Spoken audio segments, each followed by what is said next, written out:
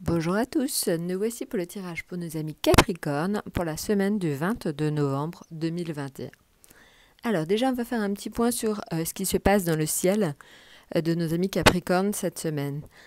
Alors, vous avez une planète très importante, hein, qui est la planète du charme, de l'amour, euh, qui est donc Vénus et qui est en Capricorne cette semaine.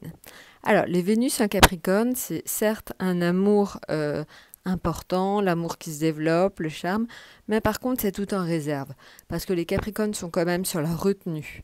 Et donc ce sera un amour qui va se développer avec un sens de devoir très marqué. Donc voilà, c'est vrai que les Capricornes sont des personnes hyper fiables. Vous êtes vraiment sur quelqu'un sur lequel on peut compter. Et euh, donc Vénus en Capricorne donne un amour sur lequel on peut compter, quelque chose qui va se faire dans le temps. Donc pour ceux qui rentrent éventuellement dans une relation avec quelqu'un de Capricorne, sachez que du coup, euh, il prend quand même les choses très au sérieux. Voilà, alors ça c'était pour le petit côté euh, astrologie. Maintenant on va passer pour le côté euh, vraiment plus, euh, on va dire, tarot. Alors au niveau du tarot, pour ce qui est de l'état d'esprit, on est sur le soleil. Donc on est vraiment sur une notion euh, de force. Euh, ça peut aussi être lié euh, donc à tout simplement aussi à Mars, Mars qui est en Scorpion et qui aussi vous veut du bien, donc qui va vous donner une énergie plus importante que ce que vous avez l'habitude de vivre. Donc vraiment, on voit quelque chose d'extrêmement positif à tous les niveaux pour vous, amis Capricorne. Maintenant, en ce qui concerne donc le domaine affectif. Alors le domaine affectif, euh, le jugement, c'est la victoire.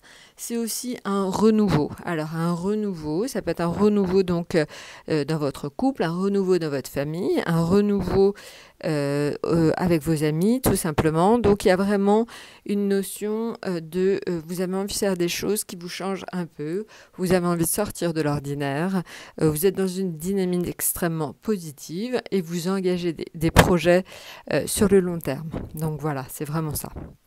Maintenant, en ce qui concerne euh, les finances. Les finances, alors vous avez euh, tendance cette semaine, ami Capricorne, à un petit peu euh, gérer vos finances avec désinvolture. Vous ne vous sentez pas très impliqué hein, dans vos finances. ça ne vous intéresse pas tellement, en fait, finalement, cette semaine.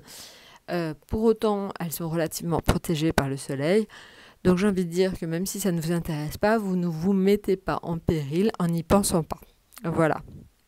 Maintenant, en ce qui concerne donc le domaine professionnel, un domaine professionnel, euh, la papesse c'est le symbole en fait de l'intuition, c'est aussi le symbole de nouveaux projets, mais nouveaux projets professionnels travaillés en secret. Alors, soit on vous propose euh, de nouvelles opportunités, mais on vous demande de ne pas en parler, soit tout simplement vous, vous euh, faites des projets fait sur lesquels vous n'avez pas envie de parler parce que vous savez tout simplement que si vous en parlez, vous risquez d'éveiller d'énormes jalousies.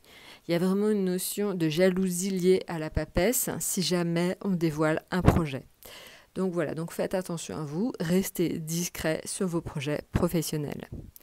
Maintenant, en ce qui concerne l'atout, on est sur la tempérance.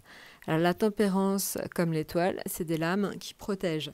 Donc elle a tendance à vous protéger un peu plus que d'habitude.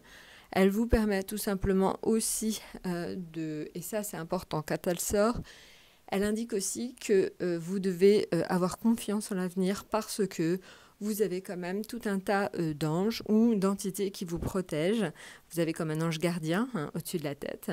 Donc c'est important. Réfléchissez-y, pensez-y. Et c'est vrai que cette période de pleine lune du 19 novembre nous a déjà fait penser à ça.